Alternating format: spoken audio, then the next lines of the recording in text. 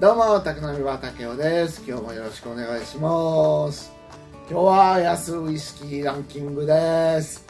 えー安ウイスキーランキング、この表に基づいて、えー僕があの1500円以下で買える、えーウイスキーをですね、えーストレートから、まあ、加水をしてロックにしたり、ハイボールで飲んでみて、まあ、どのぐらい美味しいかというのを決める僕の個人的な好みのランキングでございます。決してウイスキーの優劣を決めているのではないのでそこだけ、えーあらかじめご承知ください。で今までのランキングこんな感じです。はいずらっとね並んでおります。S から ABCD まあまあまああのーまあ、僕の好みがね現れてるのかなっていう感じです、まあ、下のクラスになってもえーまあこのウイスキー好きだよっていう方もいらっしゃるんであくまでも本当に僕の好みですね。え僕個人的には B 以上のもの A あの SAB この3種類の分類のものはもうおすすめできるというふうに思っております。はい。はい。で今日の安ウイスキーはこちらです。札幌ウイスキーです。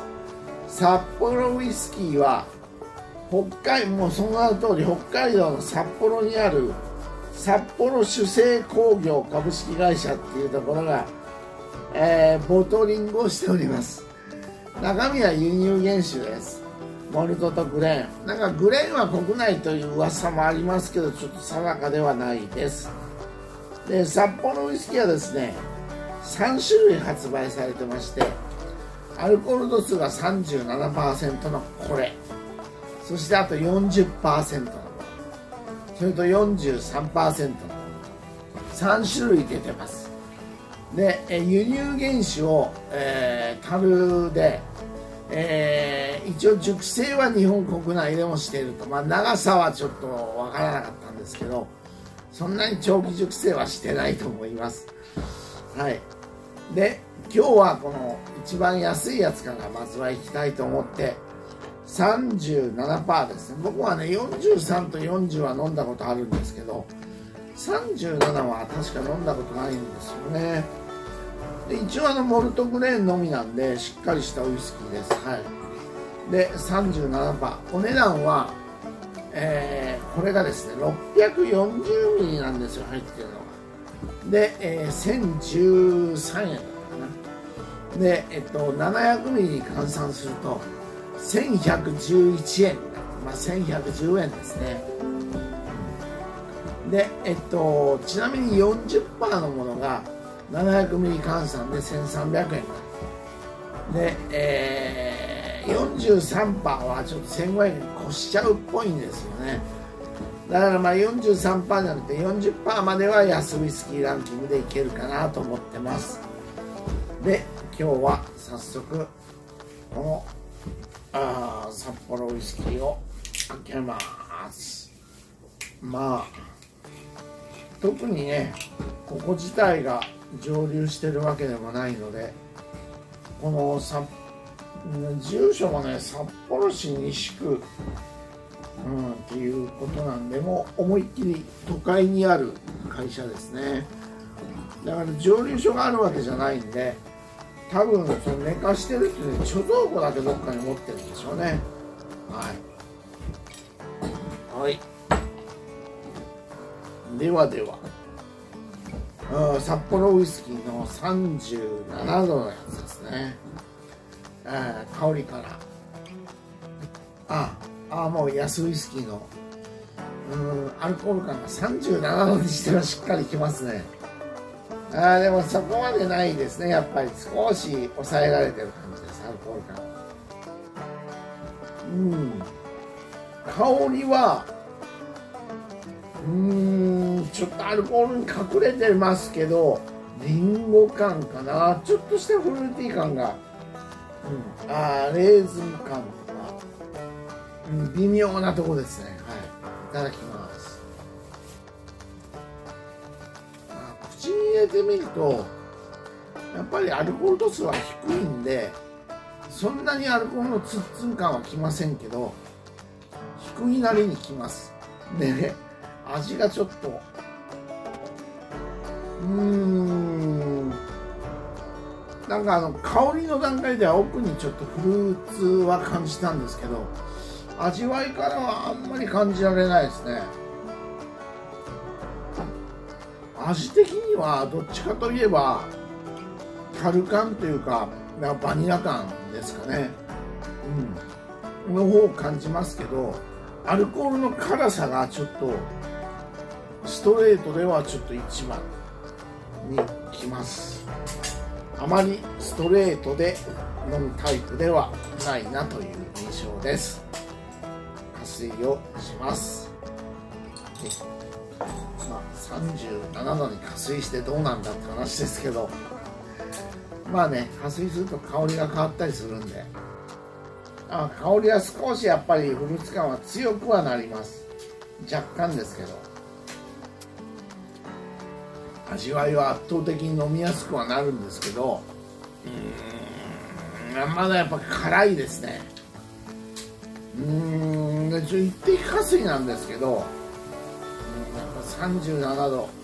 熟成も多分ないんだと思いますけど、うん、あのまずくはないんですけどうんコクがないというか。まあないのも当然かこのグラスだと。なんかあの捉えどころがない味わいですね。ちょっとストレートと加水では悪くはないんですけどどこがいいっていうのがない感じです。あのうーんちょっともうアルコール臭くて飲めないとかなんか変な味がするとかそんなことは全くないんでスッスッとは飲めますけどアルコール感の方が強くて麦芽感とかもあまり感じないしピートの感じもないです。はいそんな感じです。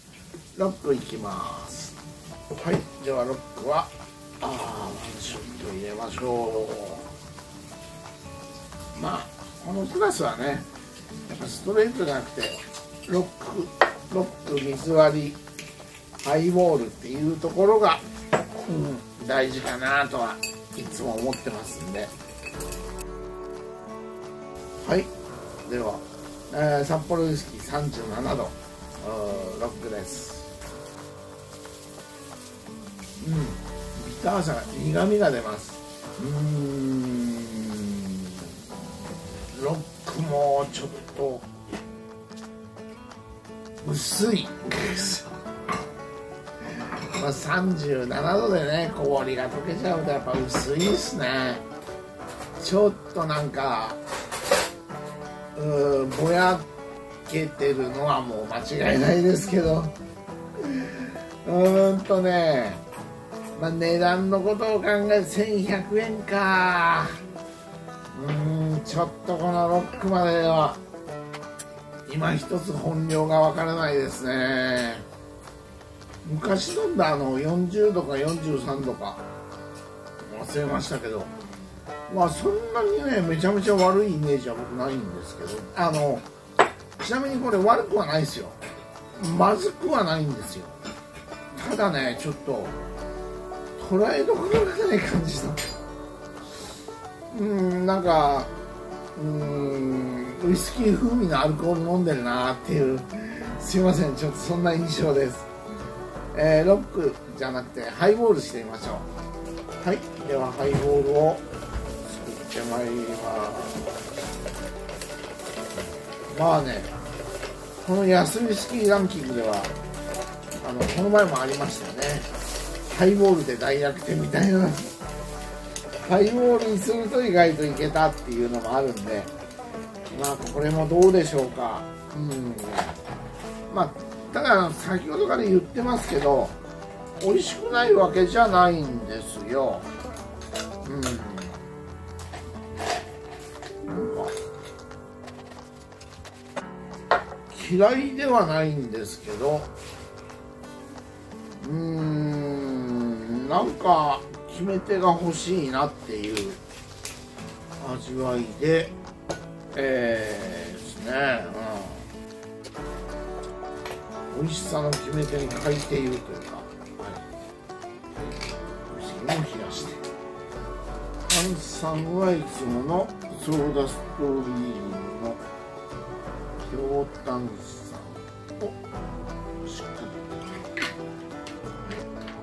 37度ですけどいつもと同じ分量で、えー、もう作りました。はい、はい、じゃあ札幌ウイスキー37度ハイボールです。飲み方としては一番いいです。はい。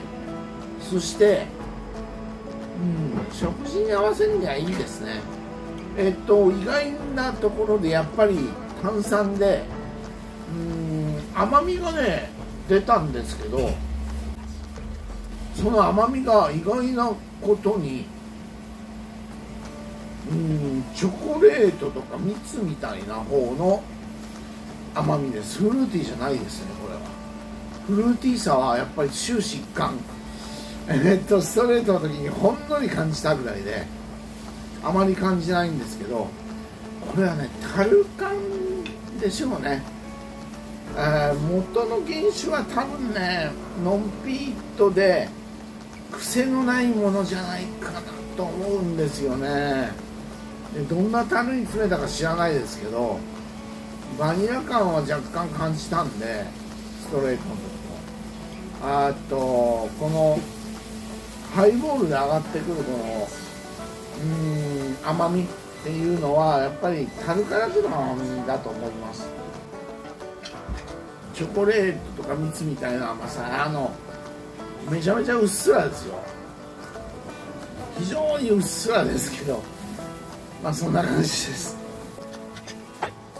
はいということで今日はですね安いスキーランクの札幌37%を飲みました。ランキングをこれでつけますけど値段もね考慮するんで1110円。